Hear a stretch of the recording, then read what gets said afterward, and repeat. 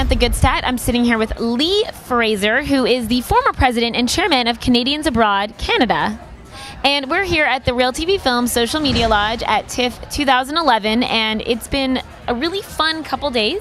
We've had celebrities coming through, um, lots of great sponsors here, including like toy watches. Um, we have uh, Brendan DeMello Hair Studio, we have Winx Eyelashes, and of course, we have Canadians Abroad California.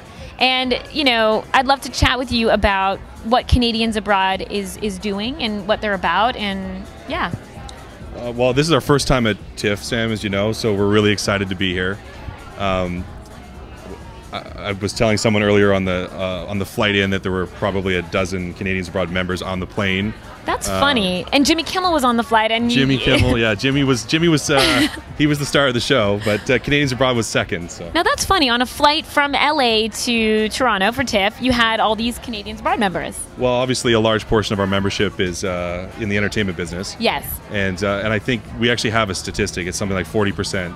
Okay. So we have three thousand total members now, which we've grown over the, the last ten years by a factor of about ten. Okay. So it's pretty exciting, and that's amazing. Yeah. And what's the initiative of uh, Canadians Abroad? I mean, really, it's about connecting Canadians um, living in Los Angeles for social, entertainment, and uh, business purposes. Can you highlight some of the amazing events you guys have done the last year? I know I've been a guest at some of them and I've hosted some of them. Um, everyone always has the best time, but just highlight a couple of, if you're a member, some of the great things that you get to do. Well, I think um, you know some of our bigger bigger events. We did a really great integration with the LA Kings uh, last year with um, Tragically Hip. Oh, that was amazing. Yeah, yeah. And, and, so the Kings actually played a hockey game first, and then everyone got to go and watch the uh, the, the, Hip play oh my God, perform afterwards. Great. And um, we do a big Canada Day party every year. Uh, this year we had former Pussycat doll Kaya Jones perform. Yeah um, a couple other special special guests and yeah, some great comedians. Yeah. Um, and also, you guys did something for the Olympics, right? Yeah, we uh, you know Viewing. we always celebrate. I mean, that's we always try and celebrate hockey whenever we can because that's Canada's national sport. So, of course. um, yeah, we had I think uh, we partnered with a couple local restaurants in Los Angeles and we did a few parties simultaneously. All I know is every Canadian I knew in Los Angeles was texting me from your event because I was playing tennis and I couldn't go and I was getting the update you, on the scores. You know it's a good party when people are passing jugs of beer literally through the windows of the restaurant. so Lee, how can someone uh, who's in California uh, join Canadians Abroad or somewhere else? Because where else are you guys based?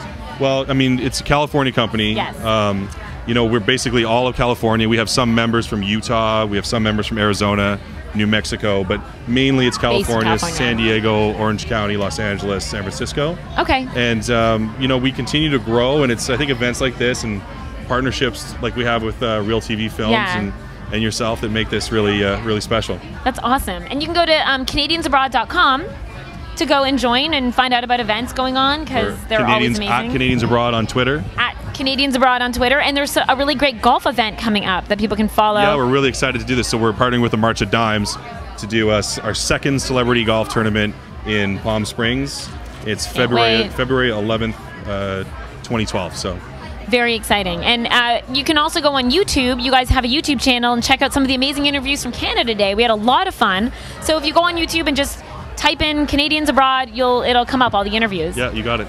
Lee, are any movies that you're uh, you've heard about that you're excited for TIFF? Um, I know you're only here for a day, but Moneyball. Everybody wants a Moneyball. talking about Moneyball. Yeah. Lee, thanks so much for chatting with me. Okay, Sam. Samantha Goodstead here at the Real TV Film Social Media Lodge at TIFF 2011, and a special shout out to Canadians Abroad, California.